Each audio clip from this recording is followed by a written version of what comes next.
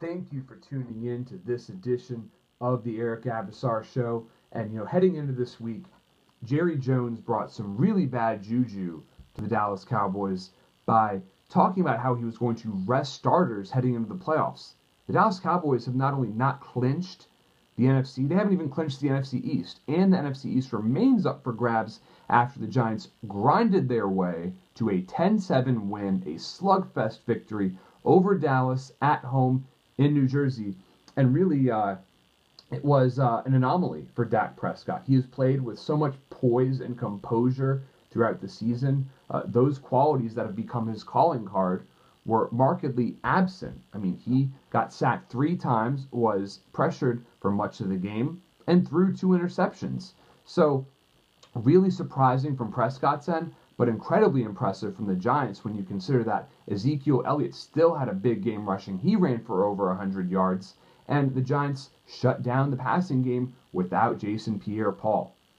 So, you know, this is a team that can withstand injuries and still get the job done.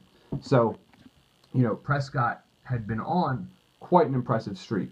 For five straight games, he had thrown a touchdown pass and did not throw an interception. That is a rookie record. Of course, that was snapped in a big way.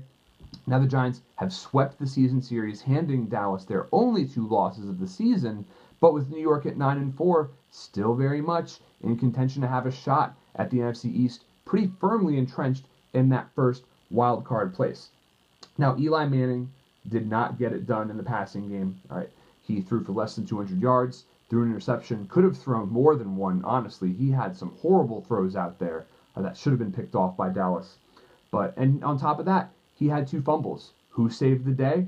You guessed it, Odell Beckham Jr., the most exciting playmaker in the NFL. Caught what looked like was just going to be maybe a first down grab. He just gashed the Dallas defense, found his angle, turned it upfield, ran it for a 61 yard touchdown reception. And really, all the credit goes to Beckham there. He ran so much of that uh, yardage after the catch. It's what he's done so often this season, and it's why he is so explosive and dangerous. All it takes is one touch for Odell Beckham to completely change the complexion and the outcome of the game.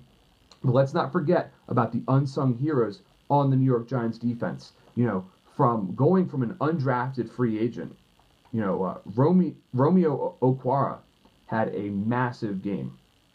He, you know, really just pressured the heck out of uh, Prescott, an undrafted free agent out of Notre Dame. It seems like every year you have those revelations and he gets it done. Jonathan Casillas continuing to have a great year for the Giants. Love what he's done, as well as Dev- Devon Kennard.